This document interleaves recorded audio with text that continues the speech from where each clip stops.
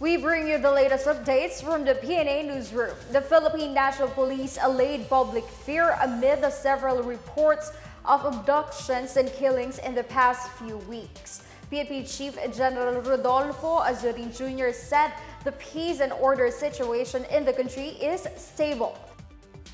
Speaking at the police service anniversary celebration in Pampanga, Azurin announced that the PNP's crime data shows a steady decline in crime trends over 12 years since 2010. He also noted that index crimes such as murder, homicide, physical injury, theft, robbery, rape, and car theft have also been on a downward trend.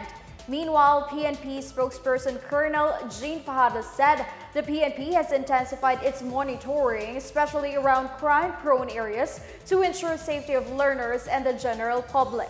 But she also noted that the crime rate in the country remains low. Yet, police visibility deployed during the opening of the face-to-face -face classes will be maintained.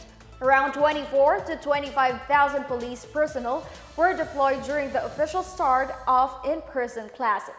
Wala po tayong nakikita na pattern na masasabi po natin na meron po tayong tinatawag na mga serial rapists o serial murderers dahil yung mga nahuli po sir na, na suspect na na involved dito po sa mga kasong ito ay may kanya-kanya po sir silang motibo kung bakit po nila ginawa itong mga kaso po na ito at uh, wala po tayo, gaya nga ng nasabi ko, wala, hindi po makakakonect itong mga kaso na ito. The Department of Interior and local government orders an immediate probe on supposed food inadequacy among inmates, as well as the temporary relief of jail warden Chief Inspector Norberto Michano. This came after Iloilo District jail inmates held a protest because of food deprivation. In a statement, the DILG said it has issued an order to BJMP Chief Allan Iral for an investigation. It also ordered the BJMP to address the concern of the inmates and ensure that they are receiving enough food and other essentials. At least 100 persons deprived of liberty or PDLs staged a protest and gathered at the roof of the jail's administrative building yesterday. Interior Secretary Benhur Abalos meanwhile assures the DILG remains committed to ensuring humane safekeeping of the PDLs in the country. The local government of Iloilo also extends assistance for the PDLs in the region.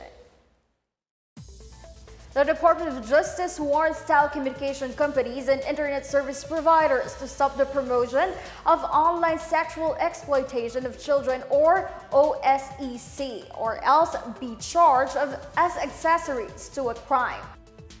Justice Secretary Jesus Crispin Remulla said he would be sending letters to the telcos and ISPs to formally relay his message that they should filter transactions related to OSECs being posted online.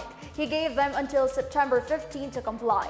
Remulla also said the National Telecommunications Commission should impose steep fines against telcos and ISPs that fail to cooperate.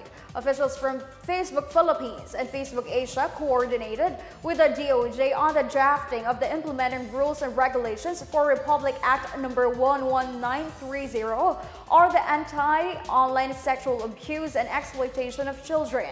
Aside from Facebook, the DOJ would also coordinate with TikTok and other social media sites to alert them about being used to exploit children.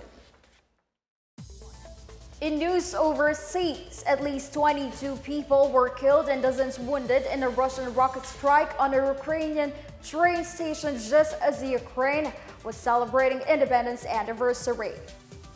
In a video address to the United Nations Security Council, Ukrainian President Volodymyr Zelensky said the rockets hit a train in the small town of Chaplyne, west of Russian-occupied Donetsk in eastern Ukraine.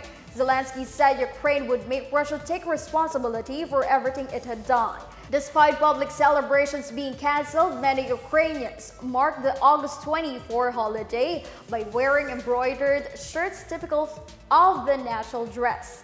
Ukraine's Army High Command said Russian air and missile strikes on military and civilian targets alike continued through Wednesday. Russia has repeatedly denied its forces are aiming at civilians. That's the latest from the PNA Newsroom. Stay tuned for more updates on the biggest stories throughout the day. I'm Stephanie Civiliano. Good day.